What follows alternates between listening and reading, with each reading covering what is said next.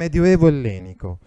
Allora, la volta scorsa ci siamo fermati proprio nel momento in cui stavamo parlando della fine della civiltà micenea. Erano queste le slide eh, qui ci eravamo un po' fermati. Che cosa succede intorno al 1200 a.C.? Le principali rocche micenee furono distrutte e date alle fiamme. Le tavolette vengono cotte. Ecco, tra l'altro, questo per noi è una fortuna, perché eh, eh, prima queste tavolette magari erano di argilla cruda. Nel corso di questi incendi dovuti a queste invasioni si cuociono e quindi le tavolette ci rimangono, perché quando l'argilla viene cotta diventa un materiale terracotta, appunto, molto più resistente. E noi possiamo leggere, abbiamo letto le tavolette in lineare B proprio grazie a questo, a quello che è avvenuto intorno al 1200 a.C. Le cause di, questi, di queste invasioni, di questo cambiamento, di questa fine della civiltà micenea? Beh, può darsi, ecco sono delle slide adesso che come vedrete sono un po' ripetitive, però una delle cause principali è, pro- è, la probabile invasione di un altro popolo indoeuropeo, di lingua indoeuropea. Intorno al 2000 sono arrivati gli Achei, bravi, che poi sarebbero gli Micenei, esatto. Dire Achei o dire Micenei più o meno si equivalgono questi termini, nel senso che Achei indica questo popolo di lingua indoeuropea che invade la Grecia e ovviamente, come abbiamo detto la volta scorsa, Micena diventa la città più importante di questa società, di questa civiltà. I Dori sono altri popoli indoeuropei che giungono nel 1200 e che sono guerrieri, forti e poco civilizzati, diciamo così, molto barbari, ecco. Ma dediti al combattimento. Gli Achei, Micenei, forse, dico forse, avevano, non dico dimenticato il loro ardore guerriero, però erano diventati una civiltà senz'altro molto evoluta e, e, invece si trovano davanti a questi popoli che sono appunto i Dori, che sono molto più determinati di loro a quanto pare e comunque ebbero la meglio i Dori rispetto agli Achei.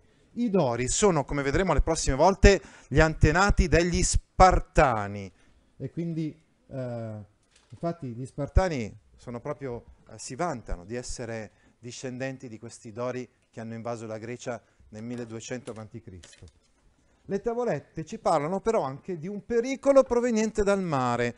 Ecco, purtroppo in questo periodo appunto del Medioevo ellenico le fonti sono molto vaghe e non sappiamo, non abbiamo dei punti di riferimento così stabili e eh, precisi da, eh, riconosciuti da parte di tutti. Alcuni dicono infatti che siano stati proprio i popoli del mare ad aver invaso la Grecia in quel, in quel periodo. Comunque, care, carestie e siccità provocarono rivolte interne, non sappiamo bene le cause. Sta di fatto che intorno al 1200 cade e finisce la grande civiltà eh, micenea, i palazzi non furono più ricostruiti, la scrittura scomparve, l'arte si immiserì e allora possiamo parlare almeno gli storici hanno utilizzato questo termine, di medioevo ellenico, perché è un periodo scuro, è un periodo di, cui sappiamo poco. Ecco perché viene utilizzato uh, questo periodo. In questo periodo anche la Grecia è molto divisa, ecco, c'è il frazionamento del mondo greco. Il territorio greco, senza più il potere dei re, ad esempio di Micene, che era, abbiamo detto, egemone, visse diverse ondate migratorie provenienti dal nord, ma anche dalle coste della vicina Asia Minore, dando così vita a nuove stirpi con nuovi ceppi linguistici. Alla fine del IX secolo a.C., praticamente quindi alla fine del Medioevo ellenico, che va dal 1200 all'800 a.C., abbiamo i Dori, cioè appunto, dicevamo anche prima, i discendenti di quegli invasori del 1200 che abitano il Peloponneso, diciamo Sparta in modo particolare, e alcune regioni settentrionali. Gli Eoli che abitano la Beozia, la Focide, la Tessaglia e l'isola di Lesbo. E infine gli Ioni, che sono appunto ad esempio gli ateniesi, no? quindi quelli che abitano l'Attica, l'Eubea e le coste dell'Anatolia. Ecco, questa è la fine della civiltà dei Micenei. Qui vedete una cartina che ci mostra le invasioni dei Dori e poi ci saranno delle colonizzazioni, ma di questo parleremo soprattutto la prossima volta. C'è la crisi dei Micenei, i Dori sono i nuovi dominatori. Al posto del Wanax, il re assoluto, abbiamo un Basileus che governa sostenuto da una gerusia, un consiglio di anziani, e quindi non ha più un potere assoluto, ma deve fare i conti con i nobili, con gli aristocratici. E infatti l'aristocrazia guerriera in questo periodo è importantissima. Il popolo è diviso in oikos.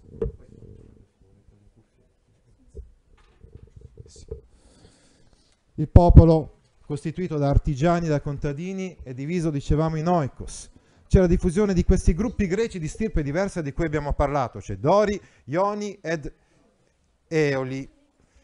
È una fase di decadenza, scompare l'uso della scrittura nel Medioevo ellenico, i traffici commerciali e le produzioni artigianali vengono meno, c'è un'autarchia, una sorta di economia di uh, sussistenza, chiamiamola così, basata su agricoltura e allevamento che dovevano servire solamente per il fabbisogno interno senza possibilità di esportare, di commerciare. Sono distrutte le fortezze, la popolazione diminuisce, si innesca il processo però di formazione della polis. In questo Medioevo, così come in tutti i Medioevi, è vero che c'è una fase un pochettino oscura, ma c'è anche una fase che è foriera, quindi produttiva, di, un nuo, di, una, di una nuova epoca, di una nuova era, di una nuova società, di una nuova civiltà che sarà completamente diversa rispetto a quella precedente. Così la, perché c'è anche il Medioevo e basta, senza ellenico. Ah, Così come il Medioevo ellenico è comunque la fase in cui eh, diciamo, ferve un cambiamento che porterà alla società greca delle poleis, di cui parleremo le prossime volte, così anche nel Medioevo Tukur ferve il cambiamento che porterà alla società moderna. Eh, ecco, questa è la cartina che ci mostra la Grecia in questo periodo, i Dori che invadono e occupano, dicevamo, soprattutto l'Argolide, c'è la regione di Argo, la Laconia, la regione di Sparta e la Messenia, la regione di Pilo, nonché alcune zone a sud dell'Asia minore. Poi dicevamo gli Eoli che occupano una parte centrale diciamo, della Grecia, che va dalla Tessaglia alla Beozia, e invece le coste settentrionali dell'Asia minore. E gli Ioni che occupano l'Attica, l'Eubea e la parte centrale dell'Asia minore.